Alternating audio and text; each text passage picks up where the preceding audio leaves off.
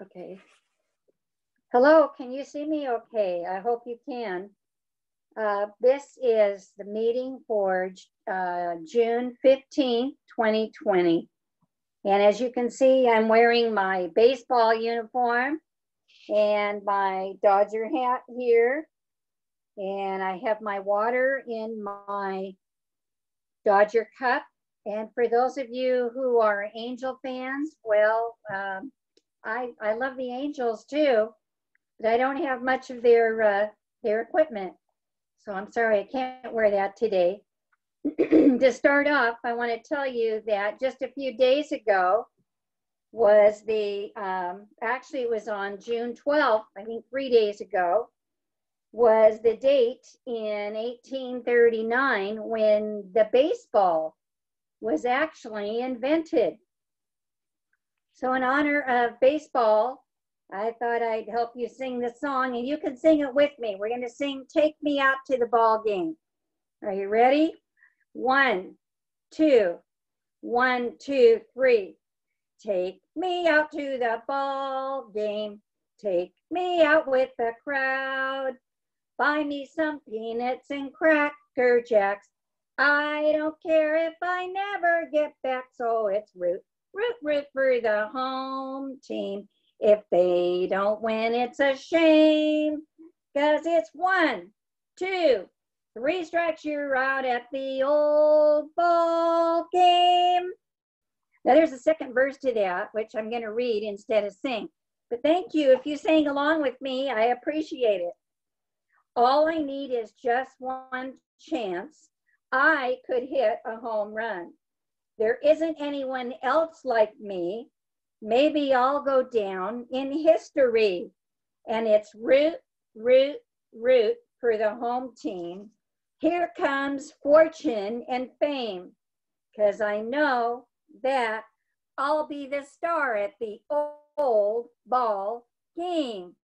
Let's try this song, a part we know. Let's do that one more time and get in the mood, okay? One, two, three, and take me out to the ball game. Take me out with the crowd. Buy me some peanuts and cracker jacks.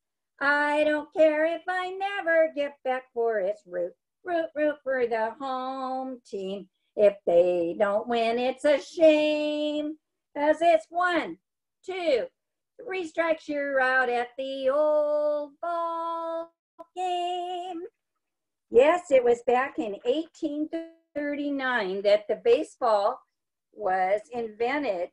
And I wanted to tell you some interesting facts about it. But before that, I wanted to show you what the parts of a baseball, you can look at this picture and you can see the inside of it here. And it shows you which part is the black rubber and then there's a red lining that goes around it. And the orange part is uh, actually cork. So there's cork on the inside, then black rubber, then red rubber, then yarn, and the outside is cowhide. And that's the way that a regulation baseball has looked for a long, long time. Another piece of equipment that's rather old, this is from 1904, and it shows it was patented then, and it was what was called the baseball catcher. And you can see in this picture who would wear that? Well, the catcher wore that for special protection. And I guess they needed it then, just like they need it now. So I wanted to give you some facts about the MLB, 10 interesting facts. Now the MLB is invited, eh, divided into the American and the National Leagues. The designated hitter is an American League position that only bats and does not play the field. William Howard Taft our 27th United States president, began the tradition of throwing out the ceremonial pitch in 1910. The record number of world championships, well, That's held by the New York Yankees at 27. The St. Louis Cardinals are second on the list with 11. Mike Trout was from Los Angeles, still is. He's with the Angels, been with them, I think, over 30 years. And in 2014, he was the American League Most Valuable Player. Clayton Kershaw with the LA Dodgers was the most valuable player in 2014. Some other interesting facts. Well, let me see if I can find the other paper. Oh, doggone it. I think I just lost it. Well, here it is. No, no, that's not it. The oldest professional baseball team is the Cincinnati Red Stockings. Now they're the Cincinnati Reds, and they were founded a long time ago, 1869. How many stitches on a uh, Major League Baseball? 108. Can you imagine somebody took the time to actually count those stitches? What's the distance officially from the pitcher's mound to home plate? It is 60 feet, six inches. How many feet between each of the four bases?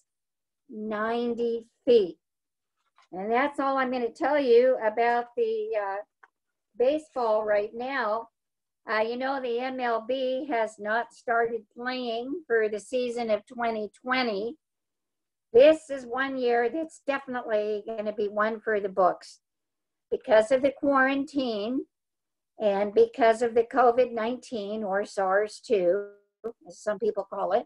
Because of that virus, uh, we are still not allowed to go into phase four which is where large concert venues and sports arenas would be open to major crowds. You imagine all the people filing in there wearing a mask? Well, that may happen, but it has not happened as of this date of June 15, 2020. So we'll just have to see what kind of negotiations they come up and see is there any way they're going to be able to salvage the 2020 season at all. I have to tell you, I miss watching the baseball games every night. That was something my husband and I would do, and we would cheer them. It was something besides water in this glass. So we're going to move now from baseball. This has been a week of many, many different events. Next one I want to talk about was from yesterday, June 14th, was Flag Day. We covered this quite a bit last week, giving you the history of Betsy Ross. But I wanted to tell you about a man named William Driver. Who was he? Well, he's the man who nicknamed our flag Old Glory. Although Flag Day is a nationwide observance, it is not a public holiday yet in many parts of our country. It did become official in August 1949 when President Harry Truman signed the legislation and proclaimed June 14th as Flag Day. In 1966, Congress requested that the president annually issue the week of June 14 as National Flag Week. The flag is displayed on all government buildings, and residents are urged to fly their flag as well. A flag day ceremony was held at the Nashville City Cemetery to observe this, and people gathered to hear many speakers yesterday. What was so special about it was the attendance of several family members of William Driver. Again, he was the man who nicknamed our flag Old Glory. The originally original Old Glory was a flag owned by Driver, who was a 19th century American sea captain.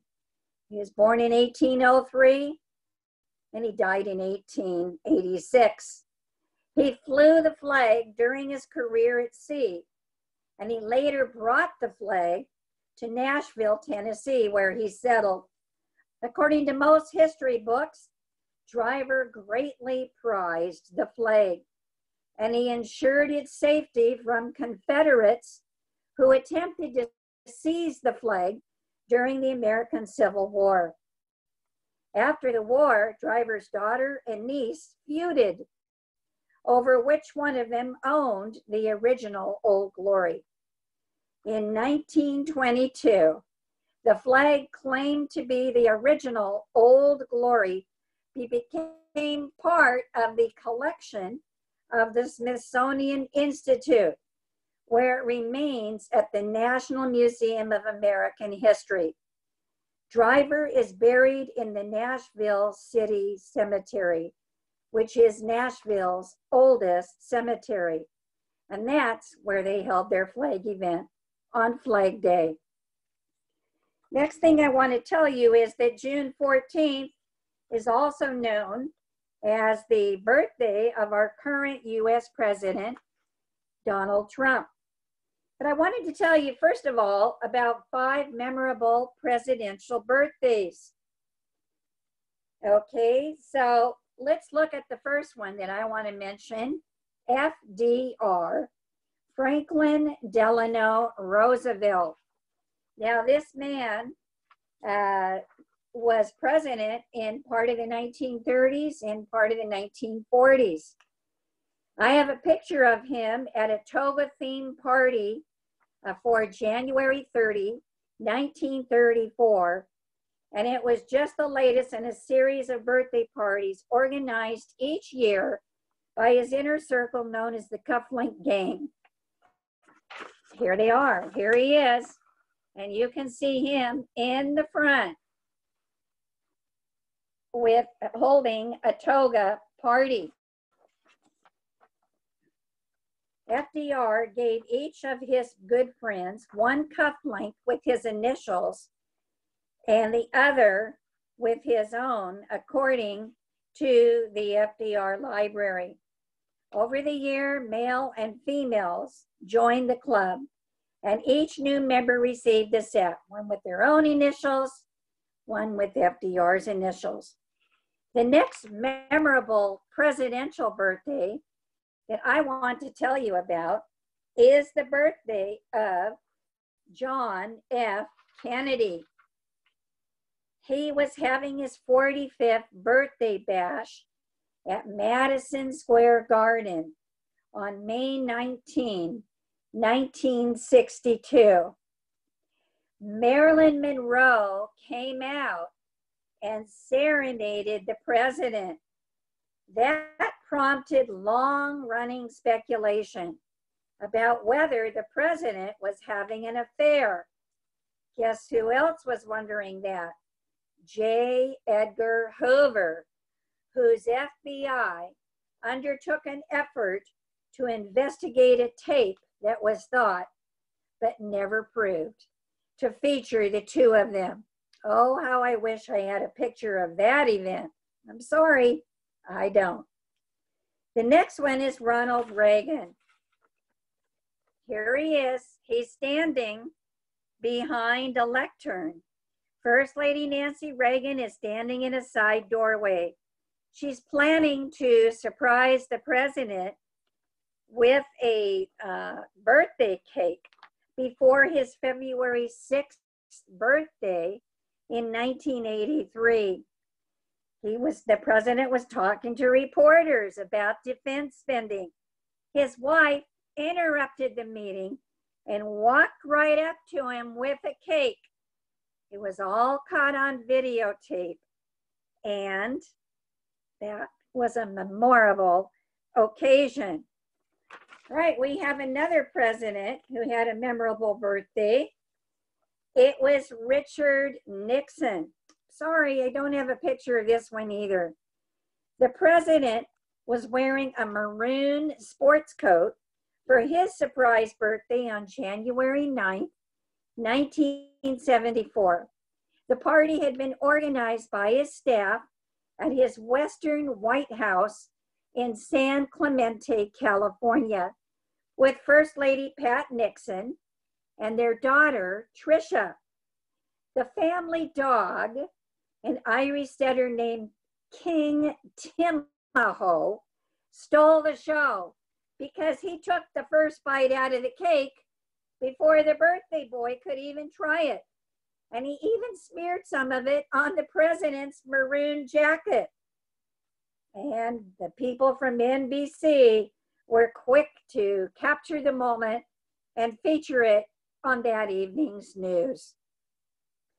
Next birthday I want to tell you about is the one of our last president, Barack Obama.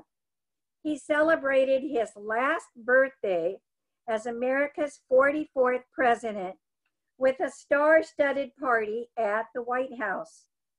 A list stars in attendance, according to the New York Times, included Stevie Wonder and Usher, who performed, as well as Paul McCartney of the Beatles, Magic Johnson, basketball player, George Lucas from the film industry, Ellen DeGeneres, who has a popular TV show, Nick Jonas, and Grant Hill. Now, I want to tell you about one that I would add to the memorable list, and that is the first uh, uh, presidential birthday that Donald Trump spent. On his 71st birthday, he expected a quiet morning, but 2017, on June 14th, he woke up to a shooting. There was nothing marked on his public schedule till late afternoon, but that was shattered by early reports that a shooter had opened fire on Republican lawmakers and staff at a baseball practice across the Potomac River in Virginia. The White House staff canceled Trump's scheduled public events and scrambled to bring details to the president as he watched on TV. The news came out that House Majority Whip Representative Steve Scalise from Louisiana and a congressional aide had both been shot. Trump posted on Twitter shortly before 9 a.m. Eastern Time that Scalise, quote, a true friend and patriot, but was badly injured and will fully recover. Our thoughts and prayers are with him, unquote. Scalise was shot in the hip on the ball field in Al- Alexandria shortly before 7 a.m. and taken to George Washington University Hospital in Washington for surgery. Aides told reporters Trump would cancel his scheduled speech at the Department of Labor on Wednesday afternoon. Vice President Mike Pence canceled a morning speech at the National Association of Home Building Builders in Washington to stay in the West Wing with the president. And you know, I have to say that it did take Steve Scalise uh, months and months of intensive therapy to recover from that shooting. And one of the security people was a wonderfully brave young Black woman who risked her life. And she also took some fire from the shooter before she tackled him to the ground. That was quite a memorable birthday. Now, the other thing I wanted to tell you was that President has had some big, big birthdays in style in the past. One of his lavish parties came in 1996 when then wife Marla Maples threw him an epic birthday bash at Trump Tower. It included a speech from his then teenage daughter, Ivanka. Well, his birthday this year, I think, will be rather quiet. He is going to celebrate or has been celebrating at his home in New Jersey while meeting with campaign advisors and getting ready for his uh, first public rally I think it's going to be in uh, Arizona, and that will be coming up in a little while. You know, because of the quarantine, our two candidates, Joe Biden and Donald Trump, have not been able to have any public debates, and they have not had um, open air rallies. But I guess now that so many of us, our states are going back into phase three, and a few are even into phase four, that open air rallies will be permitted with physical distancing and masks. We'll have to see how that turns out. Now, I want to switch topics, and that is I want to go over to Father's Day, which is coming up this coming Sunday. I want to talk to you about some Father's Day facts. You know, it's one of the most awaited holidays in the world. This is the day, if your father is alive, where you have an opportunity to tell him how much he means to you. Of course, you don't need a special occasion to tell him that, but it can make the day more special. In most of the countries around the world, besides the United States, the United Kingdom, India, Canada, China, France, Greece, Japan, and even Hong Kong all celebrate Father's Day on the third Sunday of June. The person credited for inventing the concept of Father's Day is Mrs. Sonora Dodd, an American whose father had raised his six children single handedly after his wife passed away. The first American president to support the concept of Father's Day was President Calvin Coolidge, who first did so in 1924. But it was not until 1966 that President Lyndon Johnson signed a presidential proclamation, resulting in the declaration officially of declaring the third Sunday of June as Father's Day. Of course, the first Father's Day originated in our country, and it started in 1910. And it was held in Spokane, Washington. Now, what's some of the gifts that people give their father on Father's Day? It used to be neckties, but you know, I've seen that neckties are going out of style. I see a lot of guys unbuttoning the top button on their shirt opening it up and wearing it with a sports jacket and no tie. So I don't know if the tie is still going to be the first gift or not. I would say that the second gift now is flowers, and people like to give dad uh, carnations. Also, greeting cards. That's the number one item for a lot of people. And what about the word dad? The word dad was first heard as early as the 1500s. Wasn't just father, it was dad. People also call him papa, pops. I don't know. What do you call your father? That would be interesting to find out. well, you know, uh, dads have usually been going to work, but it does seem now that 20% of today's fathers stay home with younger children. Now, I'm not talking about during quarantine. I'm talking about when there is no quarantine. Many families, 32%, split the responsibility of childcare. Many dads with full time jobs regularly work evening or night shifts, and their mothers work the morning hours. So it's hard to say who is going to always be the first person to be raising the kids at home. Well, right now they're both there, or they have been, although I have to say now that over 85% of our businesses have reopened, and we expect to see good uh, statistics from the economy as it begins to go up, up, up again during third quarter. Here's some more interesting facts for Father's Day. Number one, Halsey Taylor invented the drinking fountain in 1912 as a tribute to his father, who had succumbed to typhoid fever in 1896 after drinking from a contaminated public water supply. Number two, George Washington is called the father of our country. but he never had any children of his own. Is it because of TB, tuberculosis that he contracted in childhood? Or maybe the chicken pox, smallpox, which he had gotten while visiting an older brother in the Caribbean area.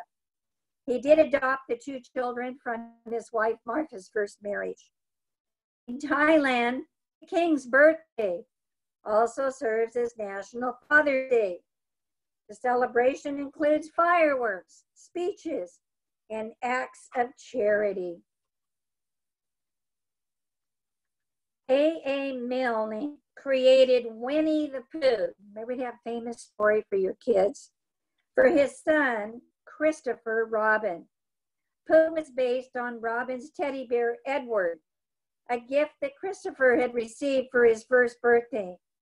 And on their father son visits to the London Zoo, where the bear named Winnie was Christopher's favorite. One more from these interesting facts Kurt Vonnegut was, for a short time, Geraldo Rivera's father in law. Rivera's marriage to Edith Vonnegut ended in 1974 because he had gotten a girlfriend. Her ever protective father was quoted as saying, If I see Jerry again, I'll spit in his face. Well, I want to end with a very touching story called Dad's Angelic Visitors.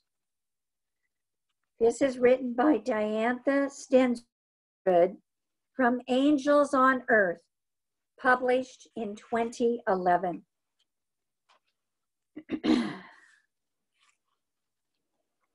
Her father was in hospice and she was caring for him with the help of hospice nurses. That way, Dad could still enjoy some things he loved. From a hospital bed set up in his living room, Dad could talk to Mom, read, or play solitaire. Some days he felt strong enough to play his organ. Dad was a professional musician. But his voice, once so rich and familiar, was already so weak he could barely make any sound at all. They were getting ready for uh, another daughter getting married soon. Her fiance, Patrick and Melissa. That's who he wanted to focus on was the upcoming wedding. Well, they were just getting ready to change his dressings and he heard the doorbell ring. A couple I'd never seen before stood on the stoop. I'm Winnie, the woman said. Her smile was so natural and friendly, it was clear she smiled a lot. This is my husband, Fred. We just moved into the neighborhood. I shook hands with them both.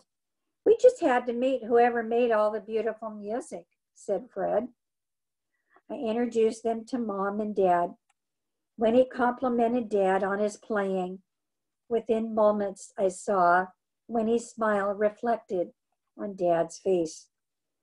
Winnie and Fred were still there when I left.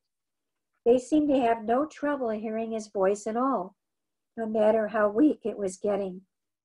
In fact, his voice sounded a little stronger since they'd come. I'll see you soon, I said, kissing Dad goodbye. A few days later, mom told me Winnie likes cards as much as your dad.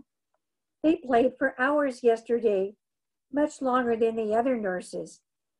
Dad absolutely loved it. Patrick, Melissa, and I got used to seeing Winnie at the house. Sometimes she was with Fred. Sometimes she came by herself. Your dad's been telling me about his amazing career, she said one afternoon as I arrived. Dad was at the organ taking her song requests. I'm a nurse myself. Dad shrugged modestly, but his blue eyes sparkled just the way they used to before he got sick.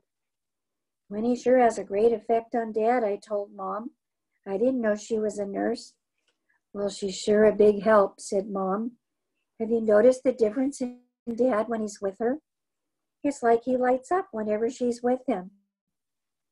Out in the living room, Dad laughed. It was that great big belly laugh that I hadn't heard in ages. When he's the only one who can get him to laugh like that, Mom said. The other day, she arrived at the door wearing a red clown nose she'd made with Dad so Mom could sleep. Across the room, Winnie chatted with Mom. For the first time that day, Mom, the weary caretaker, was almost smiling. Patrick's wedding went on as planned, just as Dad wanted. But I wasn't really able to laugh much about it. I did keep on the lookout, looking for happy things that reminded me about Dad. A few days after the wedding, I drove over to see Mom. I brought flowers for Winnie. She doesn't have any furniture yet, Mom, in her house, I said. I had no doubt Winnie would appreciate the bright colors. I walked over to the town house and knocked on the door. Then I noticed a sign on the sidewalk outside the house condo for lease. I had never noticed that sign when I'd walked Winnie home. Was there a mistake? Were Winnie and Fred moving away already? I walked over to the manager's office. The condo says it's for lease, I said, pointing to Winnie and Fred's place. Did the couple there move already, Winnie and Fred? I don't know anybody there by that name, he said. That unit has been empty for at least two months. Nobody's even asked about leasing it, much less moving in. 20 years later, much longer after Dad passed on, looking at the old photo album, Patrick, Melissa, and I went silent, each pondering the mystery of Winnie and Fred. We never saw or heard from them again. We don't even have pictures, I said. It's as if they never existed. But everything would have been so different if we hadn't met them. I think they were angels, said Patrick. They came to help Dad, and they helped all the rest of us too. Was Patrick right? I guess I still don't know for sure. But when I think of angels now, I picture them wearing red clown noses. That certainly gives me something to laugh about. And I hope that you have had a wonderful Father's Day whether your father is living or has passed on. And I think of you all often and miss you and hope that we can be together before you know it. I hope I've given you a few pleasant thoughts to think about today as well. Bye. See you next time.